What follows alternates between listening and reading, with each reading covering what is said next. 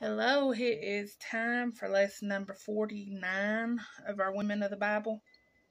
This one is going to be on Herodias and Salome. And remember, I was telling you there were two Salomes. We read the one, and then I said there was another one. This is the other one. She's the bad one. Okay.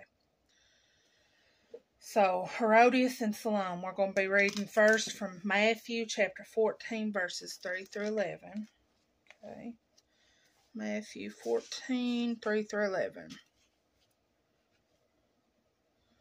For Herod had laid hold on John and bound him and put him in prison for Herodias' sake, his brother Philip's wife. For John said unto him, It is not lawful for thee to have her.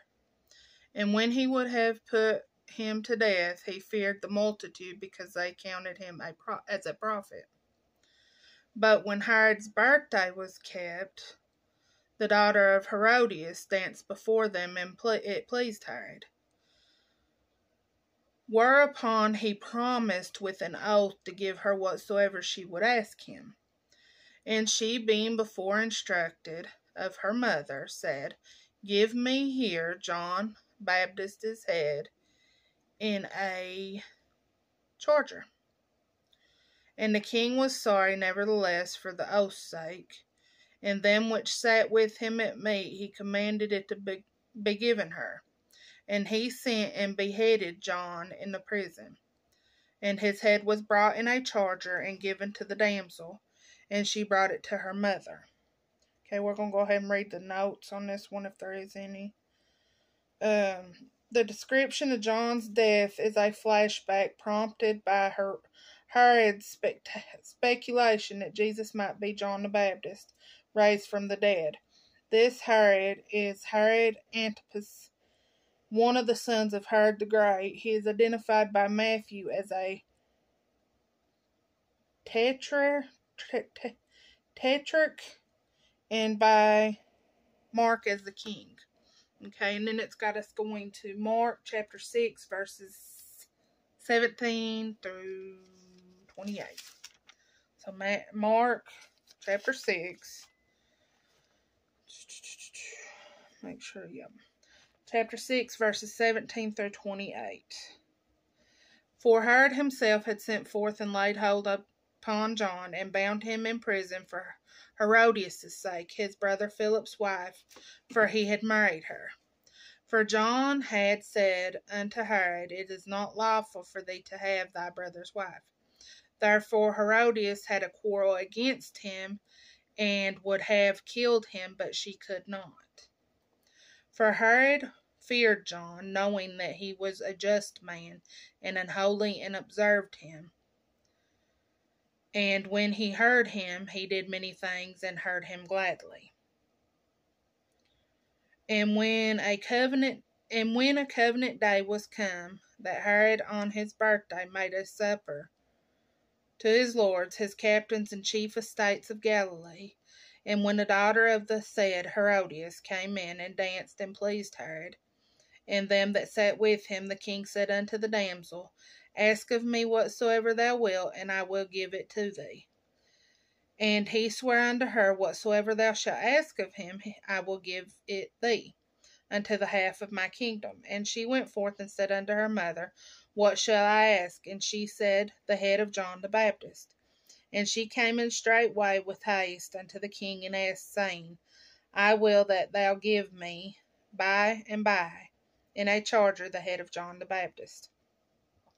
And the king was exceeding sorry, yet for his oath's sake, and for their sakes which sat with him, he would not reject her. And immediately the king sent an executioner and commanded his head to be brought, and he went and beheaded him in the prison. Um, and brought his head in a charger and gave it to the damsel, and the damsel gave it to her mother. Let's see if there's any notes on this one 17 through 28. Yeah.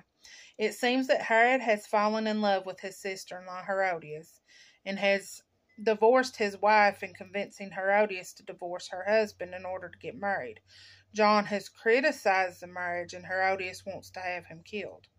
Herodias sees an opportunity for revenge at Herod's birthday banquet. She has her daughter, named Salome, according to a historian according to the historians, perform a dance for the assembled group of leading men of Galilee because he enjoyed the show so much. He promised the young dancer anything at her mother's urging. She asked for the head of John the Baptist on a platter, with all eyes on him. Herod has little choice but to comply, even though he is distressed. John's disciples come to claim his body and bury him. And then it's got us reading from Luke chapter 3, verse 19. Didn't mark that one right. No, I did. I have too many papers in here. Okay, 3, verse 19. But Herod the tet- tetrarch, tetrarch, tetrarch, tetrarch, being reproved by him, but for Her- Herodias's breath.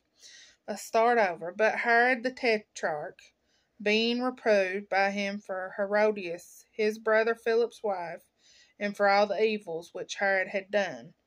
Um, I don't think there's nothing to read. In the bottom on that one, there is not. Okay.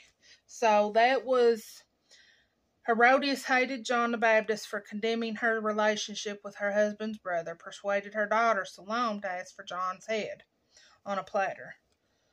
I don't have what Herodias, the name meant. Okay, no, it's right here.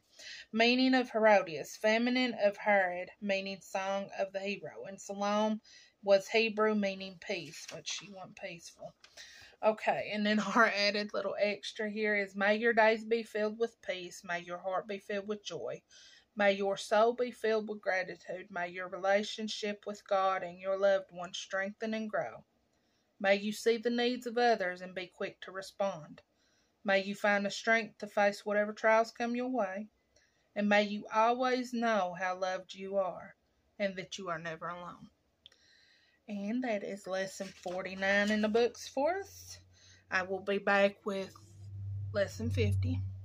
Don't forget to like and subscribe if you're not already subscribed. I love you all and I will see you soon. Mwah.